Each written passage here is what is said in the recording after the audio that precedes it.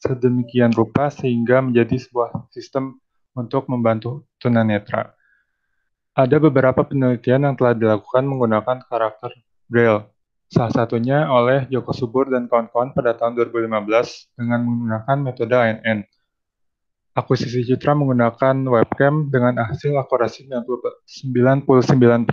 Akan tetapi, kemiringan gambar mempengaruhi keakurasian, di mana akuisisi citra dengan kemiringan gambar terbatas pada satu derajat. Oleh karena itu, pada penelitian ini dilakukan penelitian pengenalan karakter Braille dengan metode CNN dengan tujuan menguji akurasi pengenalan karakter jika akuisisi citra menggunakan smartphone dengan kemiringan gambar 0 hingga 4 derajat. Diharapkan dengan menggunakan metode CNN, keakurasian mencapai angka di atas 75% dengan kemiringan 0 hingga 4 derajat.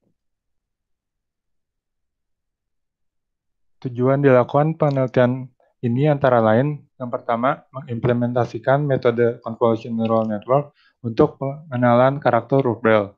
Yang kedua, mengukur keakurasian pengenalan karakter huruf Braille menggunakan metode CNN dengan akuisisi citra kemiringan 0 hingga 4 derajat.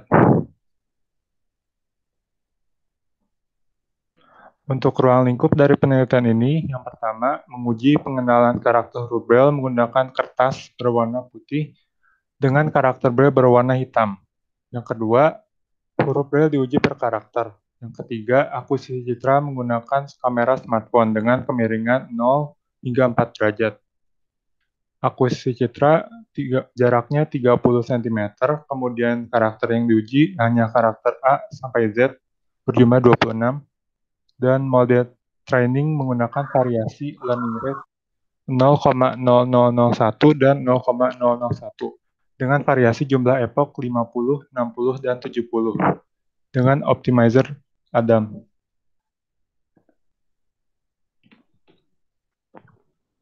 Karakter Braille. Huruf Braille terdiri dari enam buah titik yang dirancang untuk membantu tunanetra. Karakter Braille dibentuk oleh titik-titik yang dirujuk dengan angka untuk membaca dan menulis memiliki cara berkebalikan. Untuk membaca uh, arahnya kiri ke kanan, sementara untuk menulis kebalikannya, kanan ke kiri. Berikut ini ada contoh huruf Braille dari A sampai Z di pada gambar berikut ini. Untuk metode yang digunakan adalah metode Convolutional Neural Network atau CNN, yang merupakan metode deep learning yang mampu melakukan pengenalan dan klasifikasi gambar dengan memproses gambar yang diinput, kemudian mengklasifikasikannya pada kategori tertentu. Arsitektur CNN terbagi menjadi dua, yaitu Feature Extraction Layer dan Fully Connected Layer. Pada Feature Extraction Layer terjadi encoding dari sebuah image menjadi feature map yang berupa angka-angka merepresentasikan citra tersebut. Untuk Fully Connected Layer merupakan bagian di mana hasil feature map tersebut yang berbentuk array berubah menjadi vektor untuk dibentuk menjadi fully connected layer seperti sebuah jaringan syaraf yang kemudian diklasifikasikan oleh fungsi aktivasi seperti softmax. Untuk perancangan sistemnya ini terbagi menjadi tiga tahap, input, proses, dan output. Pada proses pelatihan, di bagian input terdapat data latih citra Braille yang diinput atau dimasukkan, kemudian tahap proses diproses oleh metode CNN, kemudian diberi label dan dibentuk menjadi sebuah model yang telah dilakukan proses training. Sementara pada proses pengujian, data uji citra Braille dimasukkan, kemudian diproses metode CNN dan dibuat menjadi sebuah model, kemudian diklasifikasikan dengan soft, uh, fungsi aktivasi softmax yang dibandingkan dengan model yang telah dilakukan proses training tadi, dan dikeluarkanlah hasil prediksinya. Untuk cara kerja sistemnya, yaitu memasukkan citra huruf Braille, kemudian jika citra yang dipilih sesuai, maka tekan tombol convert, kemudian pre-processing citra menggunakan metode grayscale agar proses deteksi menjadi lebih mudah karena memperkecil ukuran layer dan resizing menjadi ukuran 24 kali 24. Kemudian metode CNN akan mulai bekerja dari convolution layer. Parameter atau filter diterapkan oleh CNN. Kemudian dilakukan konvolusi pada gambar dan diterapkan aktivasi relu ke matriks gambar. Lakukan pooling untuk mengurangi ukuran dimensi agar proses lebih tanpa membuang informasi penting. Kemudian ditambahkan sebanyak mungkin lapisan convolutional hingga menjadi feature map. Setelah menjadi feature map, lalu dibentuk menjadi vektor agar dibentuk ter, agar terbentuk menjadi fully connected layer. Setelah menjadi fully connected layer, algoritma akan menentukan hasil deteksi fungsi aktivasi yang mengklasifikasikan gambar sesuai dengan data uji dan data latih. Ini bentuk flow chart dari uh, cara kerja sistem yang barusan dijelaskan. Mulai dari mulai, kemudian input citra braille, kemudian preprocessing ke grayscale, kemudian preprocessing ke ukuran 24 kali 24, kemudian penerapan 128 filter ukuran 3 kali 3 dengan aktivasi relu pada convolution layer sebanyak tiga kali. Kemudian dilanjutkan dengan ubah hasil feature map yang berbentuk array menjadi nilai vektor dengan aktivasi, relu. Kemudian penerapan dense layer dengan aktif dengan 1024 filter dan aktivasi relu. Kemudian klasifikasi karakter braille dengan softmax. Keluarlah hasil klasifikasinya dan selesai. Nah, ini untuk pengujian sistemnya. Jadi, di sini dilakukan 6 kali training dengan variasi learning rate dan epoch. Untuk optimizernya, semuanya menggunakan optimizer Adam. Tapi untuk epoch itu ada tiga macam, 50, eh, 60, dan 70. Untuk learning rate-nya ada dua, 0,0001 dan 0,001. Jadi jumlahnya ada enam kali training. Nah, ini hasilnya yang 70 epoch learning rate 0,0001. Di sini ada total 29 kesalahan dari 130 uh, eh, pengujian. Jadi di sini untuk pengujiannya dari A sampai Z diuji di 0 derajat, 1 derajat, 2 derajat, dan 0, 0 derajat, 1 derajat, 2 derajat, 3 derajat, dan 4 derajat. Ada 5 kali 26 huruf, jadi ada 130 pengujian dari setiap um, derajat. Halo? Itu ada 20 kesalahan. Uh, misalnya di huruf. Uh. Udah, misalnya di huruf. Suaranya, suaranya terputus. Iya lemot, lemot ya, jaringannya lemot. Biasa ya. biasa itu. Pada huruf C di sini bisa dilihat uh, eh, 0 derajat terdeteksi benar, tapi pada 1 hingga 4 derajat uh, ter tidak terdeteksi benar, sehingga akurasi yang dicapainya untuk huruf C eh, hanya 20%. Tetapi untuk huruf A, B, D, dan sebagian lainnya itu mencapai 100%. Ada pula yang huruf U ini terdeteksi salah semua menjadi huruf Z, sehingga akurasinya 0%, dan sebagainya. Kemudian ini ada grafik dari confusion matrix pengujian sistem ini, dan akurasinya yang dicapai dari keseluruhan sistem adalah 77 persen. 77,7 persen. Untuk presisi 77,7 persen, recall 100 persen, dan F1 score 87,45 persen. Yang ini untuk learning rate yang sama, tapi 60 epoch. E, terdapat 5 buah kesalahan dari total 130 pengujian, di mana huruf Y memiliki dua kesalahan, pada 3 dan 4 derajat sehingga akurasinya 60%. Untuk huruf V, S, dan N terdapat satu kesalahan masing-masing. Jadi akurasinya masing-masing 80%. Dengan akurasi keseluruhan sistemnya 96,15%. F1 skornya 98,03%. Untuk yang 50 epochnya ini uh, tidak terdapat kesalahan sama sekali sehingga memungkinkan untuk terjadinya overfitting. Overfitting itu adalah uh, kehilangan kemampuan untuk menggeneralisasi. Sistem kehilangan sistem kehilangan untuk menggeneralisasi karena uh, banyaknya data latih. Sehingga akurasinya, akurasi precision recall dan advance score-nya semuanya 100%. Untuk yang learning rate 0,001, 70 epoch juga sama. Ini 100% akurasinya tidak ada kesalahan, sehingga memungkinkan untuk terjadinya overfitting. Yang 60 epochnya, ini ada tiga buah kesalahan di huruf H, K, dan N. Masing-masing menjadi akurasinya hanya 80%. Sementara untuk akurasi sistemnya, keseluruhan sistemnya itu 97,69 persen dan advance score-nya 98,83 persen. Untuk yang 50 epoch ini terdapat 8 buah kesalahan, di mana huruf O memiliki kesalahan terbanyak, yaitu 3 buah, sehingga akurasinya 60 persen. Sementara huruf Y terdapat dua kesalahan sehingga akurasinya 60%, dan huruf N, L, dan A itu terdapat satu buah kesalahan sehingga akurasinya 80%.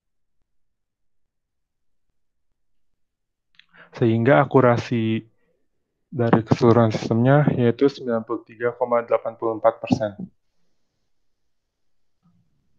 Maka dapat disimpulkan hasil pengujian sistem ini uh, untuk kesalahan terbanyak terdapat pada 70 epoch dan learning rate 0,0001 dengan 29 kesalahan dan tingkat akurasian 77,7 persen.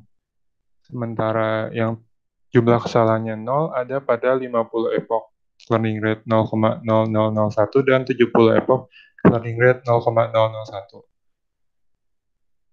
Maka dapat disimpulkan dari hasil pada tabel ini bahwa uh, model dengan learning rate 70 epoch dan learning rate 0,0001 memiliki uh, merupakan uh, model yang paling optimal untuk digunakan. Sementara model lainnya yang mendekati atau mencapai 100% ini uh, memungkinkan terjadinya overfitting.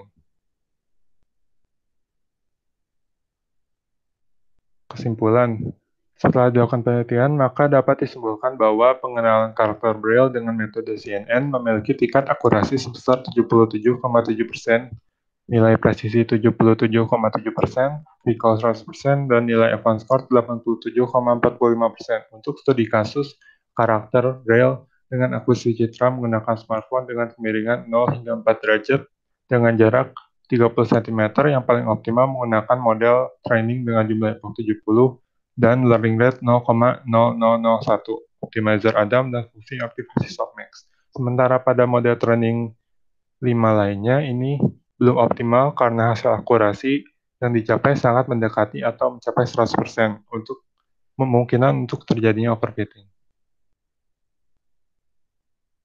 Uh, sekian. Langsung ke uh, demo aplikasi, Pak. Iya, Fahmi boleh.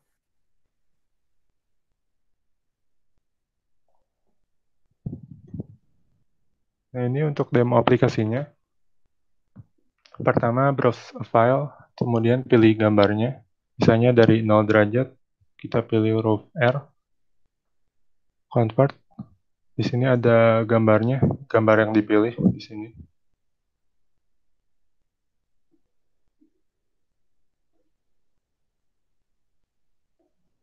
keluar hasilnya huruf R. Kita coba lagi di huruf huruf I misalnya. Coba convert.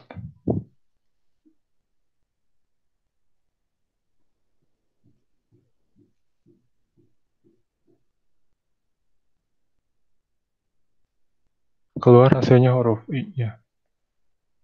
Kemudian dicoba di 4 yang 4 derajat di sini. Coba lagi huruf R. Convert.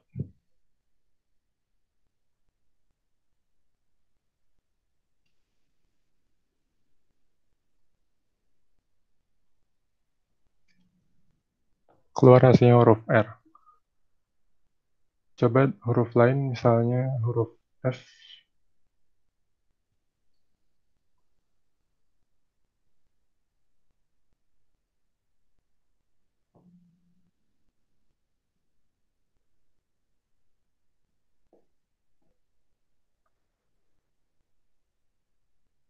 Keluar hasilnya huruf F.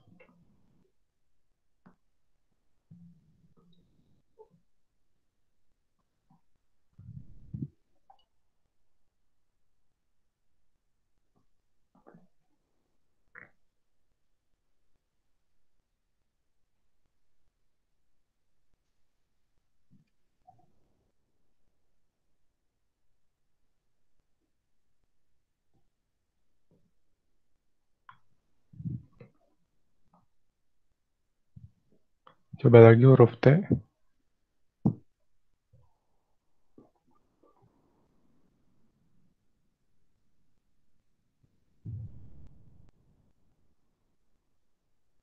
Nah, ini uh, merupakan salah satu contoh yang salah tadi. Harusnya huruf T, tapi keluarnya huruf J. Ya, sekian dari saya.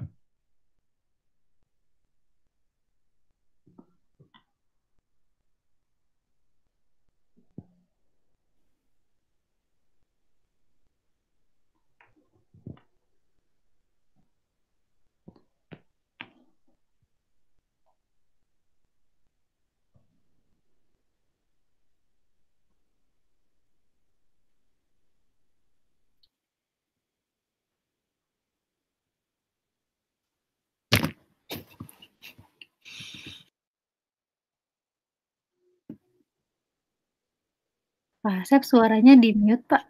Iya, di mute tadi. Oke, terima kasih Mangga. Dipersilahkan Bu Kopi sama Bu Ima. Mau Bu Sofi dulu? Oke, oke. Pak. Halo Fahmi, kedengeran? Iya, Bu. Oke. Kami eh, tadi di in, apa di latar belakang ini yang melandasinya itu yang mana ya penelitian yang melandasinya? Yang milik Joko Subur dan kawan-kawan pada tahun 2015. Joko. Eh, per, apa hasil yang membedakan dengan penelitian sebelumnya apa? Hasil yang um, perbedaannya kalau yang milik Joko Subur itu saya menggunakan metodenya beda. Kalau dia N, ANN, kalau saya CNN. Kemudian kemiringan gambarnya kalau dia meng mengetesnya 0 hingga 2 derajat. Kalau saya 0 sampai 4 derajat. Kemudian untuk akuisisi citranya juga beda. Dari kalau saya pakai smartphone, kalau dia pakai uh, webcam. Nah, untuk penjelasan itu ada di mana ya? Yang menjelaskan bahwa memang uh, yang dilakukan oleh Fahmi ini ada perbedaan-perbedaan seperti itu di mana? di latar belakang. Oh, di latar belakang. Ya. Untuk akurasi berapa yang dicapai di sini? Yang di sini 77,7 persen. Ada peningkatan. Kenapa bisa apa yang mempengaruhinya bisa sampai 75%? Maksudnya gimana, Bu? Uh, maksud saya, apa yang mempengaruhi sehingga uh, penelitian ini bisa mencapai 75%? Apa saja faktor yang mempengaruhi di pengujiannya? Uh, mulai dari trainingnya itu uh, jumlah epoch menentukan, kemudian learningnya juga menentukan. Kalau dilihat di sini di hasil, hmm. dia uh, di sini di hasil bisa dilihat bahwa semakin jadi di sini kalau learning learningnya makin besar, hmm. dia si ininya makin kurang akurat ya. Memang di akurasinya lebih besar, cuman dia kemungkinan besar jadi overfitting. Jadi tidak disarankan untuk untuk dipakai. Tapi untuk yang learning rate ini, learning rate yang 0,0001 dia semakin besar jumlah epochnya, semakin kecil akurasinya karena sama tadi aku apa kalau semakin kecil epochnya itu dia semakin mem, apa kemungkinan untuk terjadi overfittingnya itu semakin besar. Jadi dari jumlah epoch, kemudian learning rate, kemudian uh, kemiringannya juga karena di sini misalnya di yang Nah, di sini bisa dilihat bahwa yang 0 derajat ini sat, hanya satu kesalahan. Kemudian di yang satu derajat ada dua. Yang dua derajat ada lima dan seterusnya. Semakin banyak, semakin besar eh, apa namanya kemiringannya itu semakin banyak kesalahannya. Oke, untuk kemiringannya itu seperti apa kemiringannya? Apakah uh, dari foto atau ketika di gambar uh, di apa di ini foto kan ya itunya atau apa? Iya. Jadi pakai kamera HP, hmm. HP-nya dipasang di tripod, kemudian hmm. uh, diukur pakai penggaris dulu uh, 30 cm jaraknya. Hmm. Kemudian ada aplikasi namanya level kamera, dia di situ ada apa memperlihatkan si kamera si HP-nya miring berapa derajat. Jadi yang miring ya. kameranya bukan ya. uh, gambarnya dimiringkan terus difoto gitu. Kalau gambarnya lurus. Iya. Jadi kameranya yang, yang hitungnya. Berarti nanti posisi ketika mem memfoto citranya itu posisinya bagaimana? Tegak begitu, tegak lurus dengan kameranya. Kalau fotonya kan lurus ya, Bu. Mm-hmm. Kalau si kamera eh si kam ya si kameranya itu semakin besar derajatnya semakin miring. Jadi nanti yang diatur di kameranya ya, di miring. Iya, kameranya, iya. Oke. Berarti untuk mengetahui derajatnya karena kan saya khawatir derajat ini kalau misalnya saya yang memfoto, saya juga tidak tahu ini derajatnya kemiringannya berapa gitu kan. Iya. Tapi ini menggunakan fitur kamera berarti derajatnya ya. Iya. Satu kali foto tapi di di set derajat kemiringannya berapa gitu ya? Iya, betul. Oke. Untuk ini input karakteristik inputnya seperti apa untuk data latih? Maksudnya gimana? Uh, untuk data latihnya berupa apa? Gambar juga. Hmm. Gambar per huruf, per hmm. karakter. Itu dijelaskan di mana di laporannya? Di laporan ada di bab Kalau saya lihat blok diagramnya tidak ada penjelasannya ya. Blok diagram ada, ada Bu. Mana? Nah, itu. Inputnya mana? Eh, karakteristik inputnya dijelaskan tidak di situ? Oh iya, enggak Bu. Kalau di sini enggak. Dijelaskan dengan detail untuk kondisi citra pada data latihnya seperti apa? Apakah normal, posisi lurus, atau juga oh, ada iya. kondisi miringnya? Lurus, lurus, kebanyakan lurus. Lurus semua di iya. datanya? Iya, lurus. Hmm. Terus bagaimana dia bisa mendeteksi kalau data latihnya semuanya kondisinya normal? Bagaimana yang derajatnya 4 itu gimana caranya biar? Karena Bu kalau uh, si Braille ini kan dia titik-titiknya itu di apa tiap huruf tuh beda bu. Misalnya misalnya huruf misalnya di sini huruf A itu satu titik di sini. Mm-hmm. kemudian B dia nambah di sini. Kalau C ke sana sampai huruf J. Nah ke huruf K itu dia dari yang A ditambah di bawah yang L itu B ditambah di bawah M itu C ditambah di bawahnya sampai T Kemudian kalau yang U dia di sebelah kan kanannya di bawah sini.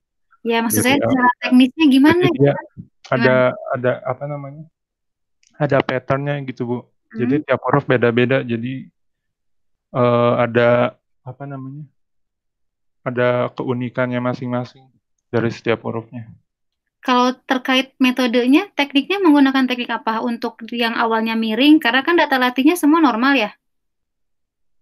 Iya. Nah, dari miring itu kan pasti harusnya dinormalkan dulu baru dicek kan ya?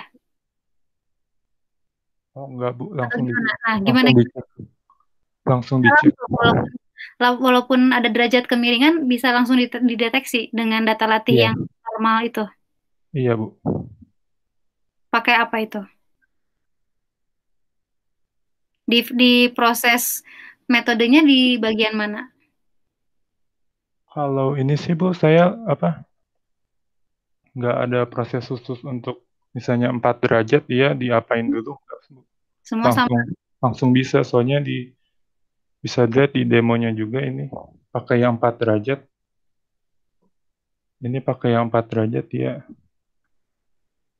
langsung bisa.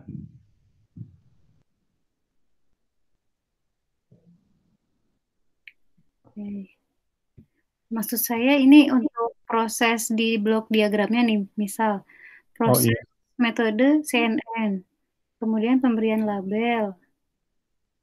Ini kan untuk data latih ya, jadi data yang iya, eh, sudah walaupun dia apa, dia normal langsung diklasifikasikan labelnya. Nah, kalau data uji, iya. Walaupun dia ada kemiringan, itu tetap bisa dideteksi gitu, Iya, tetap bisa dideteksi. sama. Kalau begitu, kenapa tadi ada yang tidak terdeteksi untuk derajat kemiringan 4%? Tadi di hasil pengujian kan ada ya yang, Iya. ah, itu kenapa tuh? Kan tadi katanya walaupun dia miring, tapi tetap bisa terdeteksi. Tapi itu ternyata terbuktinya tidak terdeteksi. Itu kenapa?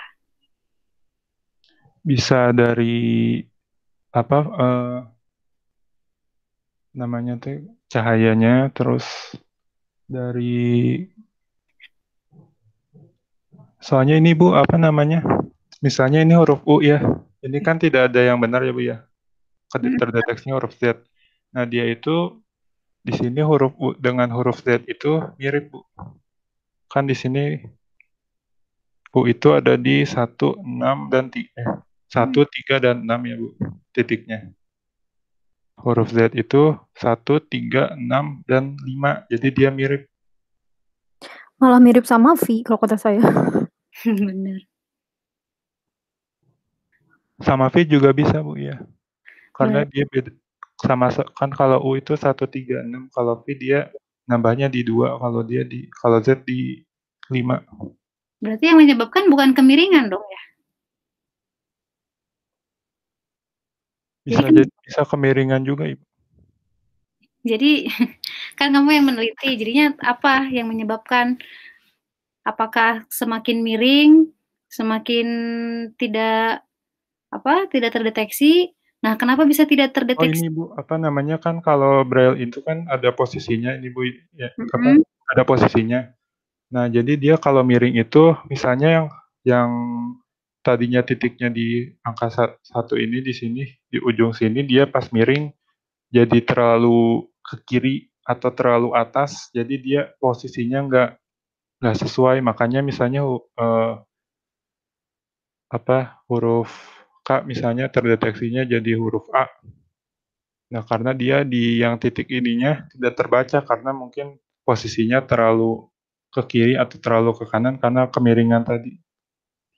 Nah, eh, ini hasil kesimpulan atau analisa itu di mana ya di dalam laporannya? Ya, apa sih yang menyebabkan apa saja yang mempengaruhi hasil pengujian? Selain kemiringan, tadi kan tadi disampaikan juga ya. Nah, itu di mana di dalam laporannya?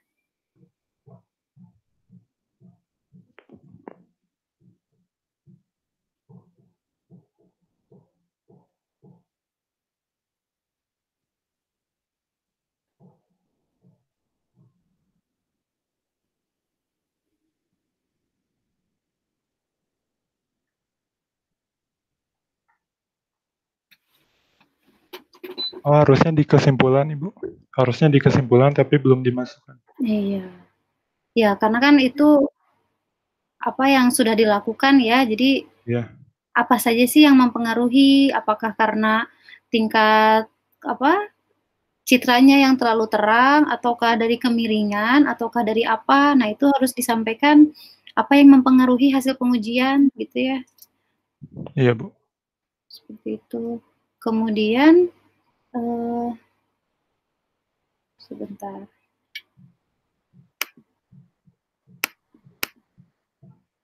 Nanti ini diterapkannya seperti apa ya?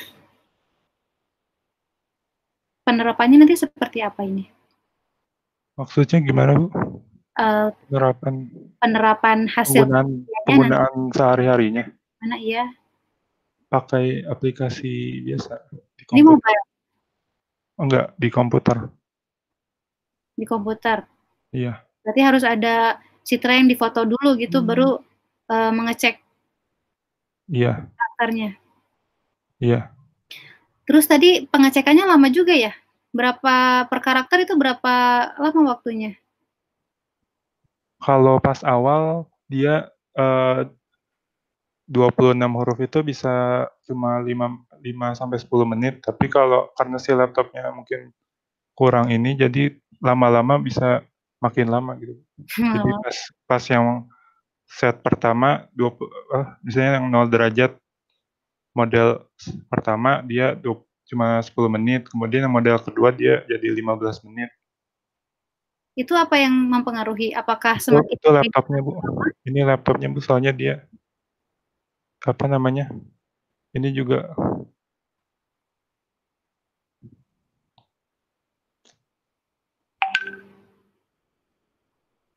Kalau misalnya kondisi ya, laptopnya ideal gitu, bisa diketahui Harus tidak?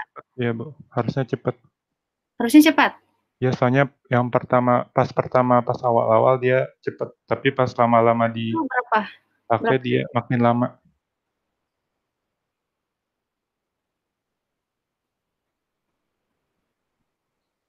Ini pengujiannya satu huruf ya per karakter deh ya? Per karakter ya.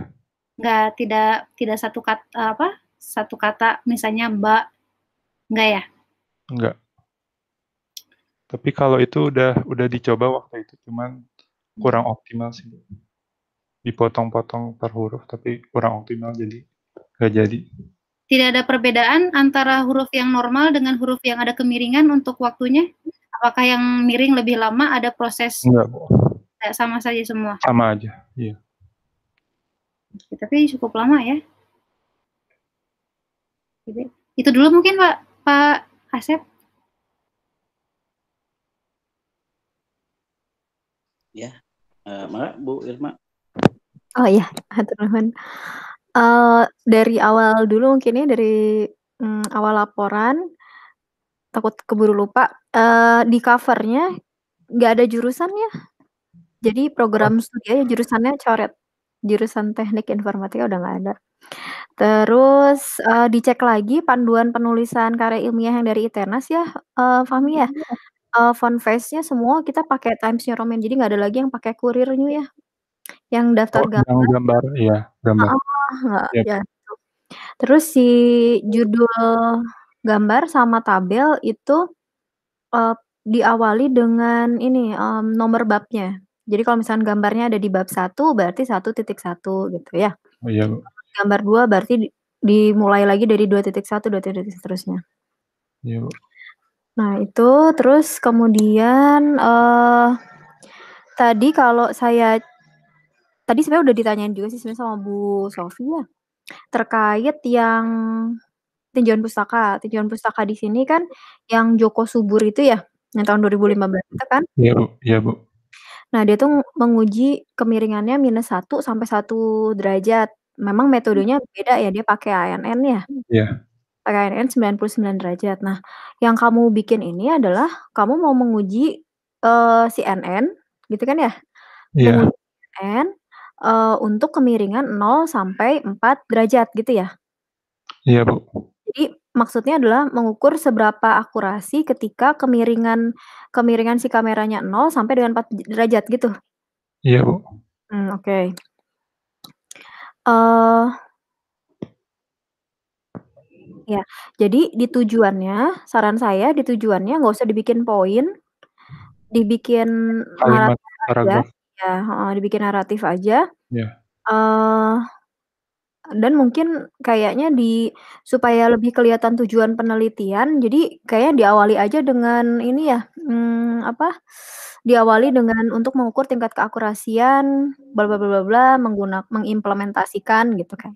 Jadi sebenarnya nomor satu sama eh, si A sama B ini sebenarnya sama. Bener nggak? A sama B itu sama kan sebenarnya ya? Kurang lebih iya sih. Iya, Iya iya. heeh. Iya.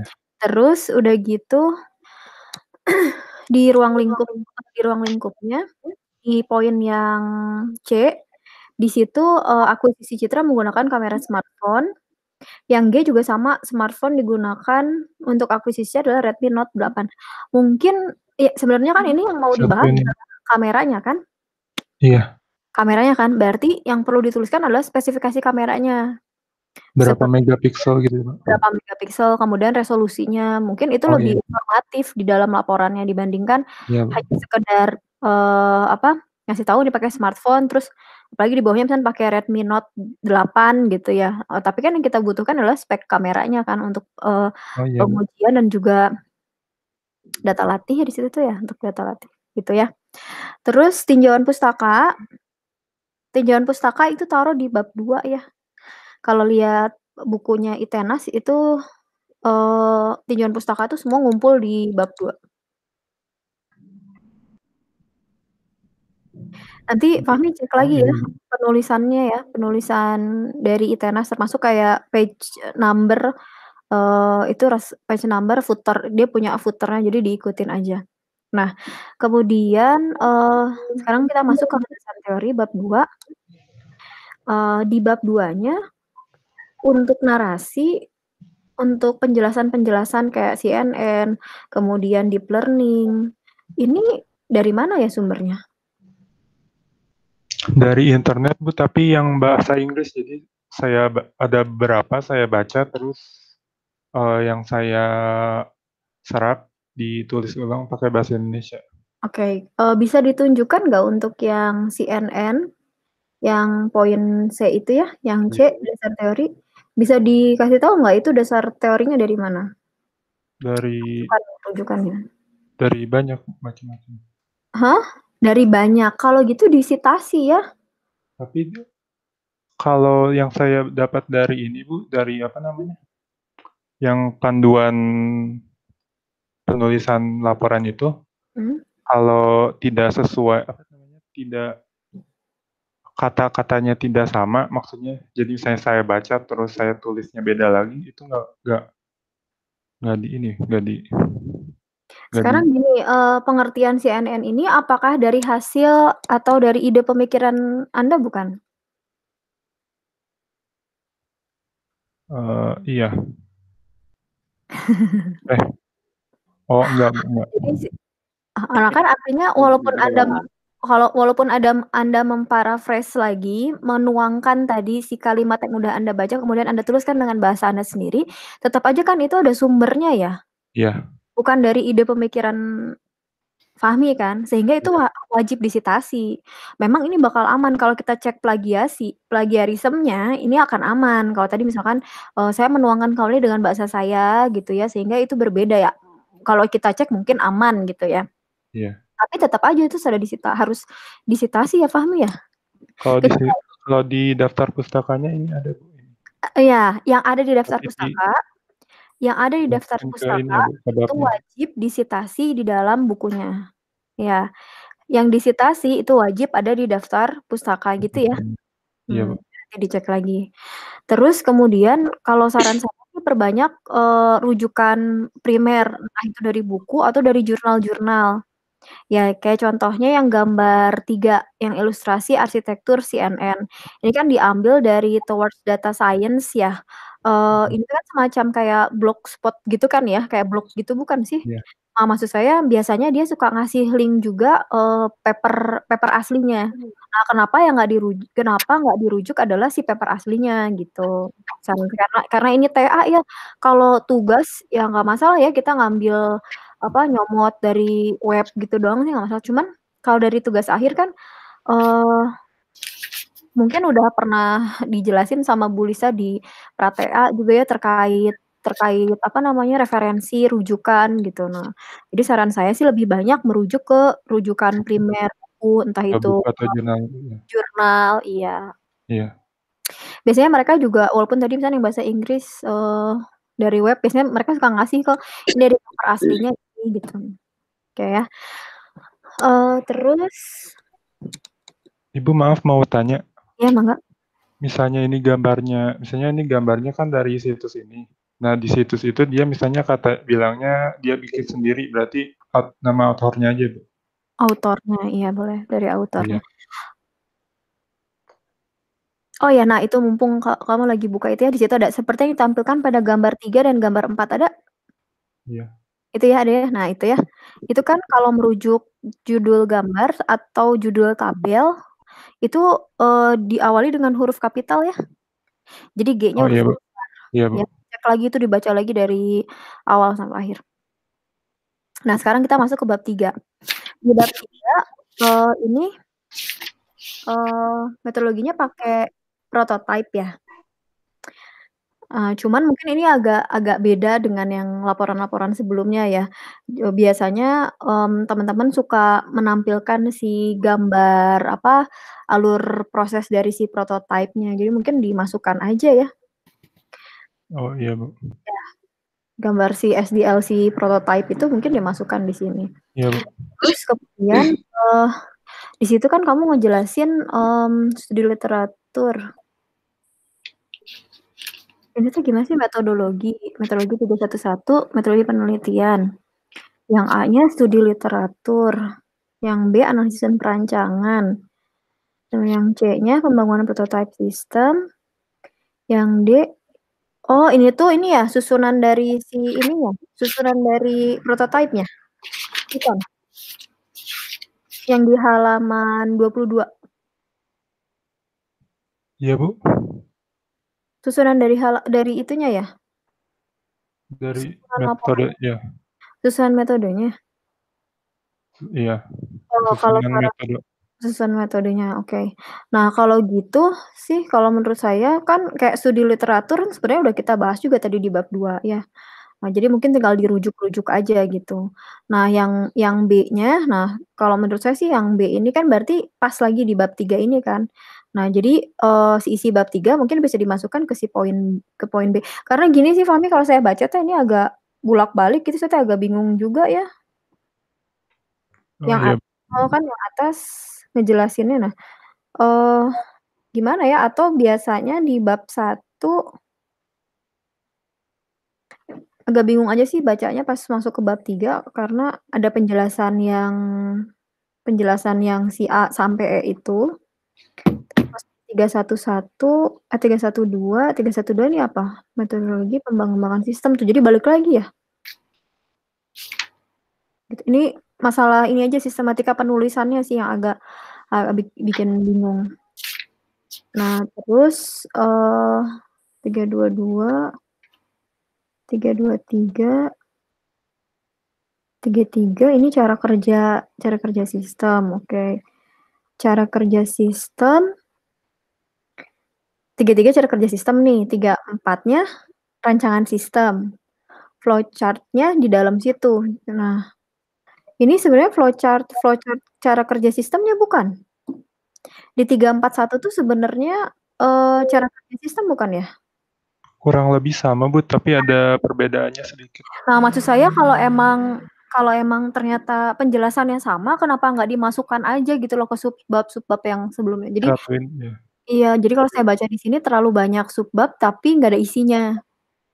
Jadi cuman sekedar berapa kalimat gitu, udah gitu. Jadi kalau menurut saya ya kalau memang bisa dijadikan satu subbab gitu ya, maksudnya kayak tadi misalnya nih flowchart-nya kan sebenarnya bisa masuk ke yang bagian yang tadi ya, cara Iya kerja iya sistem iya. yang kenapa nggak dimasukkan ke situ gitu. Nah, sekarang yang mau saya tanya nih, nah sekarang kita masuk ke intinya. Eee, memang tadi saya begitu lihat, oh buku TA-nya tujuh cuman 79 halaman ya. Sebenarnya kan nggak ada patokan harus sampai beratus-ratus halaman, enggak sih. Cuman biasanya kebanyakan teman-teman yang ngambil tugas akhir buku laporannya minimal 100 gitu. Cuman pas saya baca yang punyanya Fahmi ternyata memang kayaknya, mmm, apa, banyak yang, eee, kelewat gitu. Nah ya, contohnya misalkan gini Uh, sebenarnya tadi yang dibahas sama Bu Sofi juga salah satunya, makanya Bu Sofi tanya. Nah, input citra braille-nya ini dilakukan prosesnya seperti apa?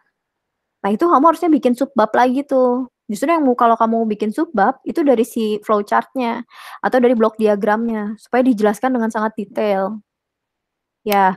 Jadi kalau saya baca di sini tuh ini nggak nggak kelihatan apa yang dilakukan. Nah, ini berhenti cuma sampai blok diagram kemudian use case. Udah, saya nggak bisa nggak bisa ngelihat cara kerja si NR-nya gimana. Nah, sekarang saya mau tanya, coba dijelasin uh, input citra braille-nya. Ini berarti untuk yang uji, yang gambar 5 nih pengujian berarti? Yang di laporan, Bu. Heeh, gambar, gambar 5 flowchart ini. Iya, betul. Ini uh, Pelat pelatihan. Oh, ini untuk pelatihannya? Pelatihan, iya pelatihan. Oke, sok sekarang, eee, coba dijelaskan dulu. Nah, berarti kalau memang ada pelatihan, ada pengujian gitu kan ya idealnya ya? Iya. Nah, itu ada di gam di mana ya penggambaran proses ada pelatihan dan ada pengujian, di mana? Gambar 8, bener nggak? Coba dicek gambar 8, betul? Iya, Bu. Nah, seharusnya ini ditaruhnya di atas berarti kan? Oh, iya. Iya, tiba-tiba flowchart gitu, terus si blok diagram itunya di bawah kan, makanya ja nggak nggak runut gitu cerita laporannya, jadi agak bingung. Ya, gitu kan, sebenarnya kan ini dulu ya, makanya tadi ada pelatihan, kemudian ada pengujiannya. Oke, nanti diperbaiki. Nah, sekarang saya mau tanya tadi yang di gambar 5 yang tadi kamu bilang itu adalah proses, eee pelatihannya. Coba dijelaskan dari mulai, uh, data latihnya ada berapa ya? Data latihnya ada 20.000 totalnya 20.000. Totalnya 20.000, total 20.000 itu dari berapa huruf? 20.000 ya? 26. Jadi kurang 26. lebih rata-ratanya sekitar 700-800-an. Jadi masing-masing huruf ada sekitar 700, 800. 700 sampai 800 huruf ya.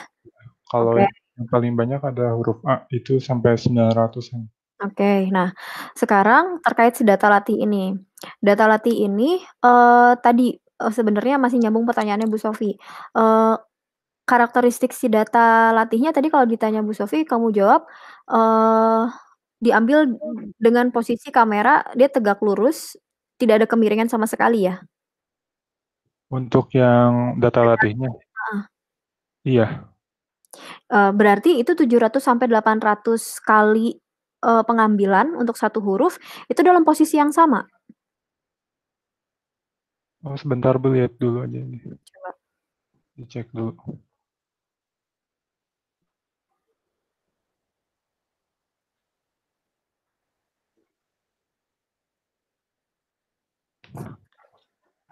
Ini, Bu. Uh, coba pilih salah satu aja, coba dibuka.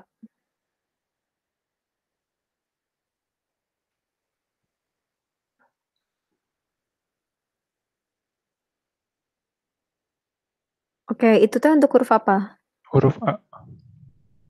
Semuanya sama kayak gitu? 800 kali pengambilan itu semuanya sama kayak gitu? Ada yang, apa, di filter, kasih filter, dim, terus Dikasih apa? Dim? Ya, apa, cahayanya digelapin, terus ada hmm. yang lebih terang ini. Uh, atau kalau A cuma titik satu doang ya? Ada nggak hmm. yang dua dua objek gitu sih? Oke, coba yang apa, MP atau terserah lah, yang lebih dari satu deh. Ini, huruf Q. Berarti ini bedanya hanya di warna aja? Jadi semua sama kayak gini ya? Kurang iya, kurang lebih ya. Oke. Nah, sementara coba kita lihat di laporannya lagi. Setelah input, di situ ada proses pre-processing citra RGB ke grayscale. Nah, pertanyaan saya adalah, uh, dari citra data latih yang kamu mas yang kamu masukkan, tadi hanya mengubah terkait di filter atau di warna. Tapi di prosesnya kamu, itu dilakukan proses grayscale. Betul nggak? Artinya, apakah si data latih ini cukup mewakili nggak dari keseluruhan, eee, data huruf-huruf itu? Karena tadi misalkan Bu Taufik bilang, "Oh, kenapa yang miring nggak bisa dideteksi?" Misalkan. Ya orang data latihnya nggak ada, orang semua data latihnya tegak semua kan.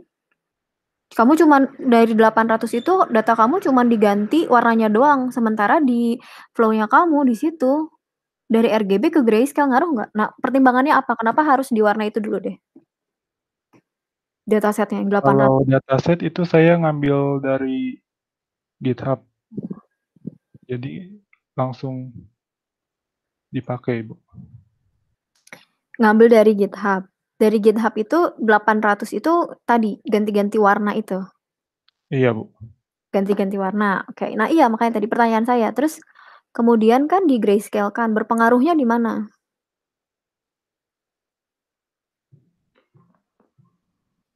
Apakah ada pengaruh nggak sih gitu?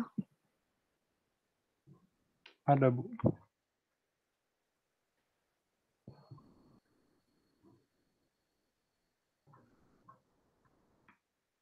Ini apa, cropping-nya di sini juga ada beda-beda. Ada yang ada yang ini posisinya ini posisinya di apa namanya, di sini. Kan Mhm. kalau dia kan kalau kemiringan itu dia nggak terdeteksi karena dia jadi misalnya yang titiknya di sini itu pas dimiringkan jadi di sini, yang di sininya jadi ke ke sebelah kanan, yang ini makin ke kanan. Nah, Oke. di sini ada yang ini lebih ke atas ininya. Karena gini tadi maaf, eee, kalau say kalau tadi kita lihat di data pengujiannya, data pengujiannya itu rasanya, eee, memang dia akuratnya di derajat 0 sampai mana tadi ya, yang confusion matrix-nya? Mana ya, di laporan halaman berapa ya? Eee, di confusion matrix-nya tadi yang kalau kamu tunjukin yang 0D, 1D gitu ya? Coba ada Iya. nggak? 0D, 1D coba. Ini, Bu. 0D, 1D, ah, itu ya? Atau ini? Bukan yang tabel nah yang ini. Nah, ini kalau kita lihat, eee, semakin gede si semakin besar si derajatnya, ternyata dia memang semakin tidak akurat kan gitu ya, betul nggak? Iya, Bu. Ya. Nah, tapi di dat eee, kamu pernah dengar yang namanya augmentasi data? Di dalam deep learning itu ada proses di pre-processing itu ada augmented augmentasi data. Nah, augmentasi data itu salah satunya adalah dia melakukan proses rotate, ada yang melakukan proses, eee, perbe apa, si skalanya gitu dan sebagainya. Nah, eee, karena di sini yang kamu karena di sini kan fokus penelitiannya adalah menguji dari 0 sampai 4 derajat, kenapa enggak si data latihnya itu ditambahkan dengan data latih data dengan kemiringan 1 sampai 4 derajat gitu. Karena ta karena tadi sih sebenarnya saya juga, eee, sama dengan Bu Sofi tadi pertanyaan saya ya ke, eee, apa namanya, mmm, eee, ke apa, penasaran ya, penasaran tadi, mmm, kenapa pengujiannya di kemiringan sampai 4 derajat, tapi di data latihnya kok semuanya pada tegak-tegak gitu ya, di 0 Mhm. derajat katakanlah seperti itu. Gitu, jadi kita juga agak mempertanyakan kenapa nggak ditambahkan di data latihnya gitu, malah data latihnya yang kamu perbanyak malah masalah warna, tapi dari warna kemudian di grayscale kan kan kan nggak berpengaruh banyak juga ya gitu. Ya gitu ya Bu Sofi ya, betul ya? Iya, Bu. Dan saya kira memang di algoritmanya ada fase me yang apa, membuat kondisi normal, betul, Ya. tapi tidak ada. Terus Iya, gimana iya. nih?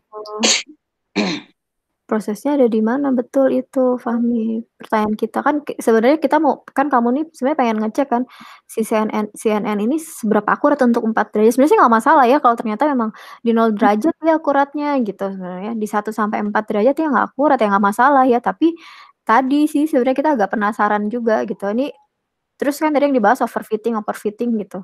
Ya kalau data latihnya ternyata memang nggak tepat, ya pasti terjadi overfitting kan pada akhirnya. Mhm. Ya, Iya. gitu ya, dipahami? Oh iya, Bu, iya. Kalau misalnya ditambahkan data ujinya terus eh Data data latih. latihnya kalau ditambahkan data latihnya di yang di rotate gitu berarti dia dari gambar yang itu apa Gambar gambar yang sudah ada dia di ininya Data secara apa, secara digital berarti bukan bukan dari pengambilan gambarnya juga. Ah, sekarang saya mau tanya, data uji dengan data latih sama atau beda? Beda, Bu. Iya, nggak masalah. Saya mau mendeteksi wajah, mau mendeteksi uh, wajah si absen untuk absensi nih. Saya akan menyimpan dataset wajah saya dari se semua kemungkinan, dari depan, dari samping, dari belakang, bahkan misalkan gitu ya, miring berapa derajat dan seterusnya gitu. Nah, pada saat kita nguji kan kita nggak tahu ya kondisi orang pada saat absen itu kondisi kepalanya, uh, ya kan kondisi wajahnya dia putar berapa derajat atau di samping kan kita nggak tahu, tapi dataset kita udah menyiapkan itu gitu. Paham maksudnya ya? Oh iya, Bu. Iya. Gitu. Jadi ya nggak apa-apa disiap disiapkan aja gitu kalau untuk data latih. Jadi untuk semua semua kemungkinan, eee, posisi itu dimasukkan gitu. Yang nggak boleh itu adalah kalau misalkan data ujinya kamu ambil dari data latih, ya itu nggak boleh. Ya. Kalau ini kan data ujinya beda kan ya? Iya, beda. Nah, sekarang, eee, kalau untuk data latihnya sendiri tadi kan ada proses training ya, itu, eee, presisinya sampai berapa persen? Untuk data trainingnya? Di split-nya berapa? Tadi 22.000 data 20.000 data latih itu, eee, di-split kan ya? Di-split nggak? Data train-nya berapa, validasi set-nya berapa? Eee, 15.000 sama 5.000. 5.000 tuh berarti untuk validasi ya? Iya. Mhm. Itu dia dapat, eee, berapa akurasinya? Bentar, Bu. Ya, mangga.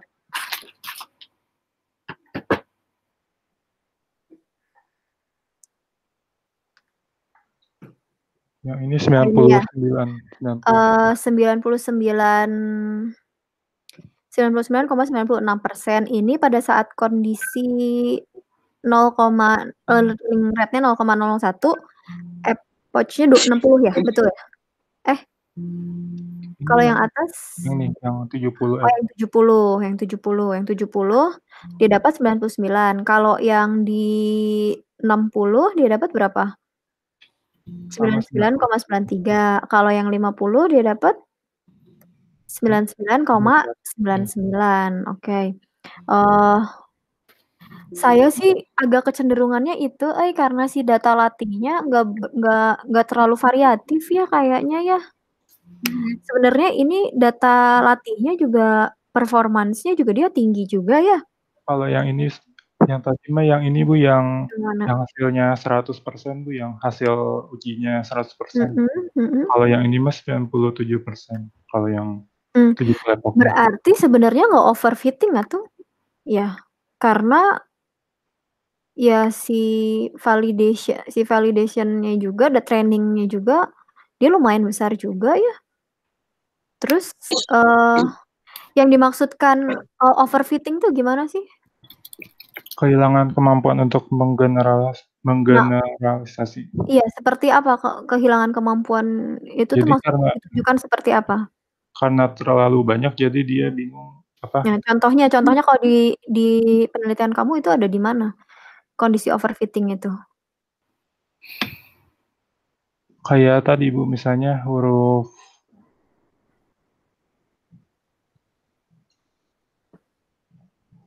huruf, eee misalnya huruf K kebacanya jadi A, karena dia mirip. Enggak, untuk yang data data persentasenya data persentasenya. Maksudnya gimana, Bu? Pengujiannya, di pengujiannya.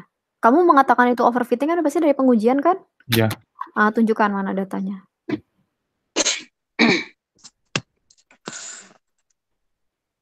Yang ini, Bu.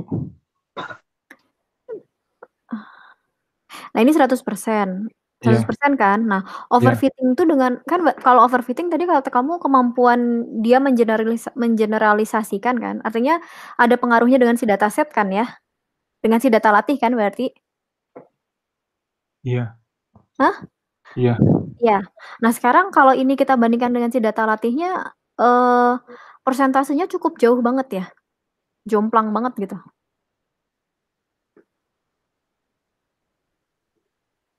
Jomplang banget Gimana, Bu? nggak?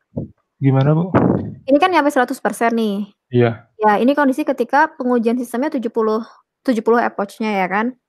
Nah, sekarang saya mau Iya. tanya pada saat kondisi ini, si data latihnya data latihnya itu, eee, MAP-nya berapa?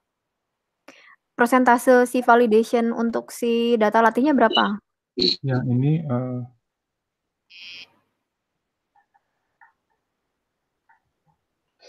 99,96. Nah, apakah ini dikatakan overfitting? Kalau setahu saya iya, Bu. Kalau gitu kriteria seperti apa yang kondisinya adalah normal? Apakah harus sama-sama 100%? Ini kan berarti selisihnya dia cuma 0,04 ya, 0,04 kan berarti ya antara si Iya. validation, si akurasi validasinya sama si pengujiannya.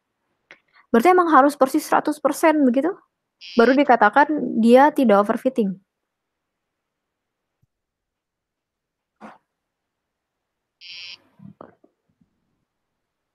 Gimana?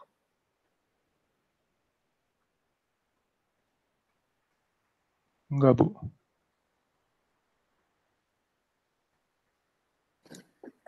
Oke, jadi jadi ini oke, jadi kalau, eee, ini disimpulkan, ini tuh tadi berarti dia akan optimal di 50 epoch gitu ya? Di epoch-nya 50 eh gitu ya? Bukan? Itu bukan? Bukan, Bu, yang Gimana? Dia tadi op optimalnya itu 70 epoch, nol Di eee, 70 learning rate-nya epoch. 0,0001. Oke, di 70 87,45 F1 score-nya. Sorry yang tadi lagi, lagi ke yang tadi. Terus kalau yang eee, oh kalau learning rate-nya 0,001 itu nyampe 100% ya. Kalau yang atas ketika learning rate-nya 0,0001 itu 87,45%. Ketika 0,0001 tadi ya, si akurasi dari dataset-nya, data latihnya itu 99% itu bukan? Yang mana, Bu? Itu yang atas itu. Iya. Yang 87,45% itu. Iya. Pada saat kondisi itu si modelnya, si validasi setnya itu Iya. sorry, si keakurasian si data latihnya berapa persen? Yang trainingnya itu 97% yang yang ini ya, Bu, ya? 97. 97%. Jadi makanya kamu bilang itu overfitting gitu? Yang overfitting yang yang lainnya, Bu, kalau menurut saya ini yang optimal.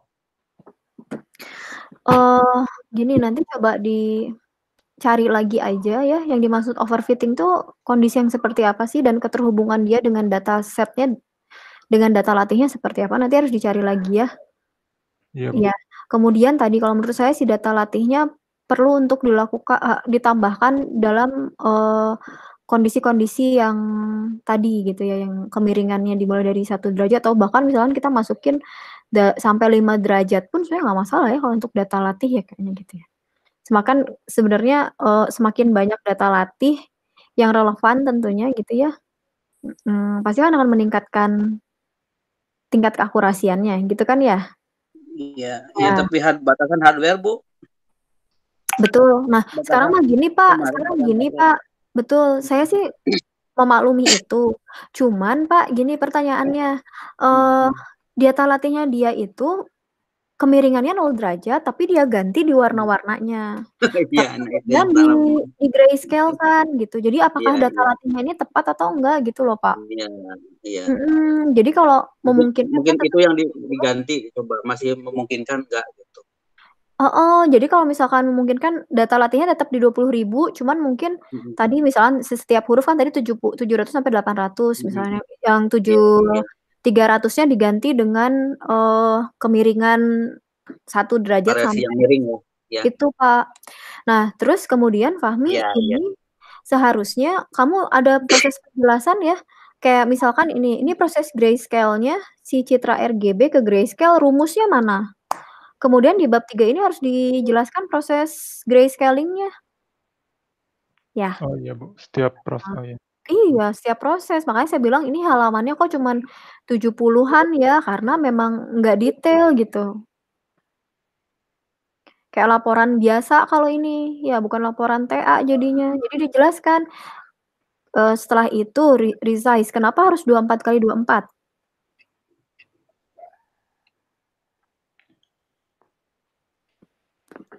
Di resize-nya, kenapa harus 24 kali 24? Tadinya mau lebih kecil lagi cuman, eee, apa, nggak nggak keliat jadi nggak makin nggak kelihatan jadi yang paling Akurasinya jadi rendah, nggak kelihatan tuh akurasinya jadi rendah? Iya iya. Ada pengujiannya? Waktu di awal banget sih, Bu. Waktu di awal, nggak didokumentasikan? Enggak. Nah, eee, nanti ya disampaikan aja di laporannya, misalkan kenapa harus 24 kali 24. Nah, itu makanya dibik dijelaskan dalam subbab, eee, resize itu ya. Terus gimana cara nge-resize-nya, itu harus dijelaskan di bab 3-nya, kalau misalnya ada rumus ya masukkan ke rumusnya. Nah, terus kemudian saya mau tanya lagi, eee, penerapan 128 filter ukuran 3 kali 3 dengan aktivasi ReLU. ReLU tuh kayak gimana prosesnya? Kemudian convolutional itu kayak gimana? Ini kan proses konvolusi ini dia ya, 128 filter, ukurannya 3 kali 3, proses konvolusinya gimana? Konvolusi itu dari apa, pembuatan feature map atau array, jadi dia dari tiap, apa namanya, tiap Mhm. piks pixel ya, piks tiap Mhm. pixel itu Mhm. saya gambar 24 kali 24, jadi dia dari 24 piksel kali 24 piksel dia di ada pengalinya, terus Pengalinya apa? Pengalinya saya lupa, Bu, tapi kalau jadi ada pengalinya, terus dia jadi nilai array. Jadi nilai array. Nah, ini dijelaskan ya, Fahmi. Jadi kalau kayak gini terkesan ya, eee, pure pakai library gitu. Walaupun iya ya gitu, pakai TensorFlow, Keras gitu ya. Cuman kan karena ini penelitian ya kamu harus bisa menjelaskan sih per proses ini, cara kerjanya kayak gimana sih, konvolusi itu tadi kayak gimana sih, gitu. Ya, terus proses dia, eee, apa, aktivasi ReLU tuh kayak gimana sih gitu, rumusnya seperti apa, kemudian kasih studi kasusnya. Ya, kalau tadi misalkan kamu cerita tentang array pixel, ya kamu kasih contoh array pixel gitu, yang yang berkesesuaian dengan penelitiannya. Ya, sampai dengan ini, Bu. Di mana? Di bagian bab 3-nya. Di bagian bab 3-nya. Kalau rumus-rumus kamu ceritakan dulu di bab 2. Iya, Bu. Ya, nanti di bab 3 itu kamu pakai studi kasus. Nah, studi kasusnya si angka-angkanya itu berkesesuaian dengan penelitiannya, jadi nggak terlalu nggak random banget gitu. Nah, termasuk sampai softmax. Softmax itu, eee, gimana cara kerjanya, terus kemudian tadi kamu ngebahas ada, eee, optimizer-nya pakai Adam kan ya. Nah, di dasar teori saya nggak ngelihat si optimizer Adam itu apa, cara kerjanya gimana, itu nggak ada di laporannya. Iya, Ya. Bu. Nah, Bu. terus ini saya lihat nggak ada pengujian alpha-nya ya? Ya, si pengujiannya nggak ada pengujian alpha-nya nih. Ya, jadi nanti dicek lagi untuk, eee ya, kalau saya lihat di pengujian, implementasi, terus kemudian nah, langsung masuk kan pengujian training gitu ya. Jadi nanti dibikin untuk pengujian alpha-nya, kemudian eee, lebih baik eh, tadi ini udah dibikin tabel ya?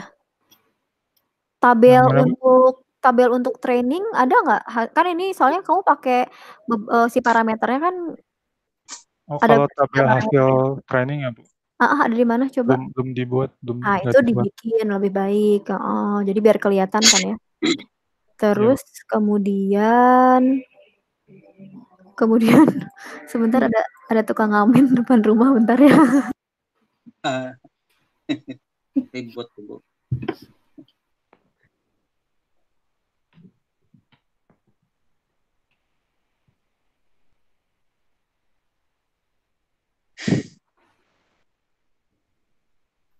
Sebelas itu berapa sebelas?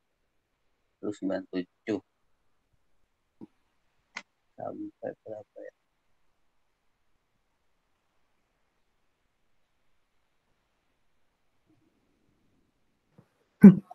Maaf ada iklan dulu.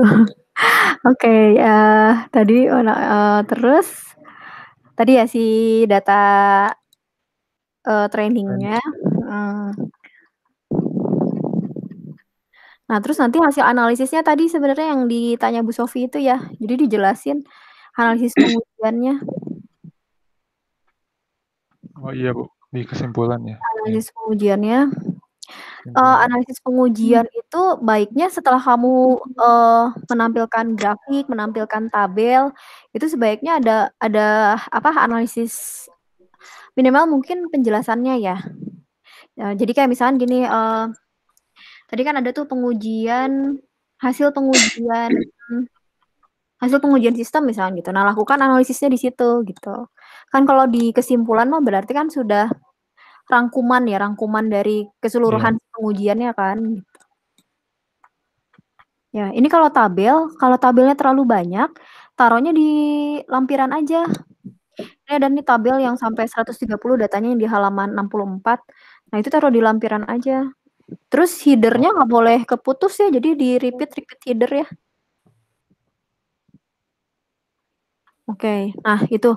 Jadi yang paling utama Uh, ya itu masalah di laporan. Terus tadi yang kedua adalah iya kenapa? Misalnya ini kan misalnya ini kepanjangan ya Bu, ditaruhnya di lampiran. Terus hmm. rujuknya gimana Bu? Eh, dibilang aja uh, dapat dilihat pada lampiran berapa gitu. Oh iya. Oh dirujuk gitu aja. Iya, Nah, terus uh,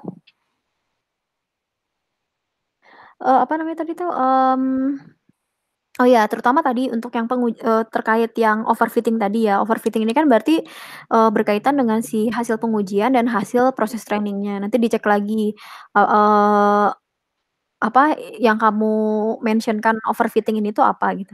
Terus tadi untuk si data latihnya, nah coba dicek lagi kan karena data latihnya tadi kayaknya berhubungan dengan warna tapi pada akhirnya di grayscale gitu kan ya. Tapi di pengujiannya kita melakukan proses kemiringan. Nah nanti uh, apakah memungkinkan nggak kita untuk menambah menambah data latih gitu ya atau kayak tadi skenario nya misalnya dari 800 yang 400-nya dibuang misalkan 400-nya ditambah dengan yang, uh, kemiringan gambar dan sebagainya gitu ya.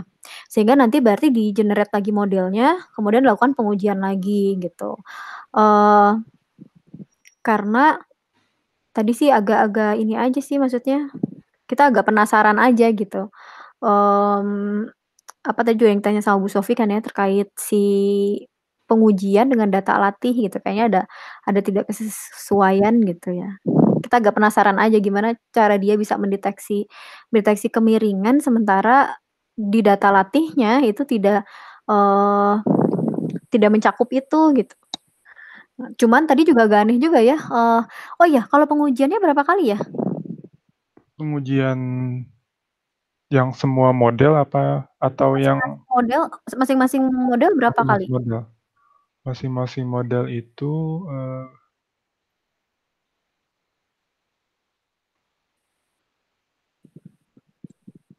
jadi 130. satu hurufnya berapa kali? Satu huruf lima kali. Satu huruf lima kali ya?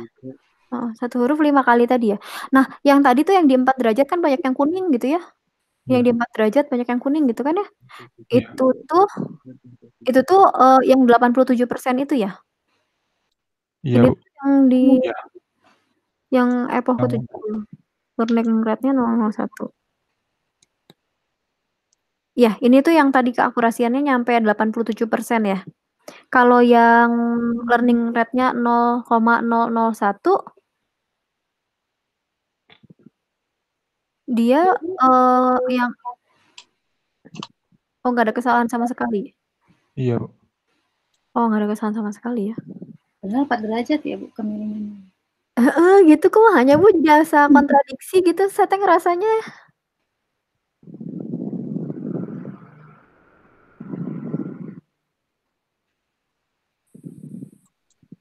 Jadi ini tuh sebenarnya, eee jadi kalaupun dia miring 4 derajat dengan epoh ke 70 running rate 0,01 tuh nggak ada masalah berarti gitu ya?